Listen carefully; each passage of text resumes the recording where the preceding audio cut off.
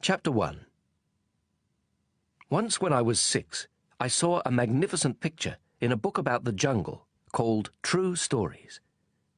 It showed a boa constrictor swallowing a wild beast.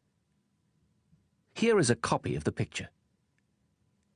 In the book, it said, Boa constrictors swallow their prey whole, without chewing. Afterward, they are no longer able to move, and they sleep during the six months of their digestion. In those days, I thought a lot about jungle adventures, and eventually managed to make my first drawing using a coloured pencil. My drawing number one looked like this. I showed the grown-ups my masterpiece, and I asked them if my drawing scared them. They answered, Why be scared of a hat? My drawing was not a picture of a hat.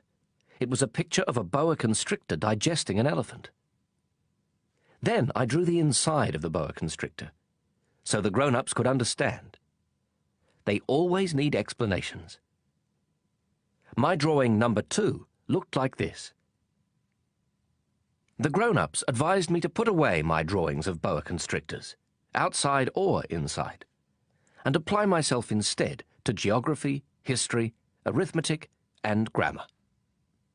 That is why I abandoned, at the age of six, a magnificent career as an artist. I had been discouraged by the failure of my drawing number one and of my drawing number two.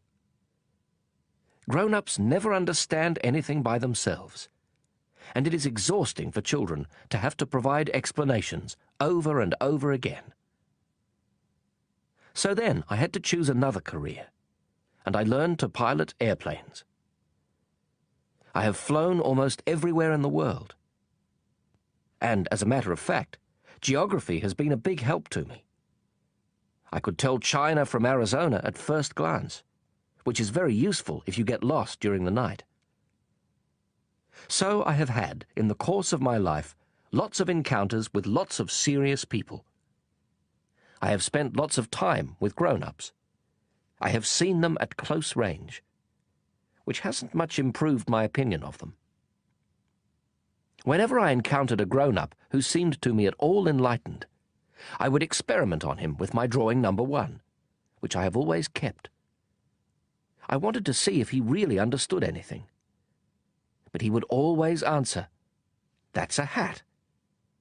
Then I wouldn't talk about boa constrictors or jungles or stars. I would put myself on his level and talk about bridge and golf and politics and neckties. And my grown-up was glad to know such a reasonable person.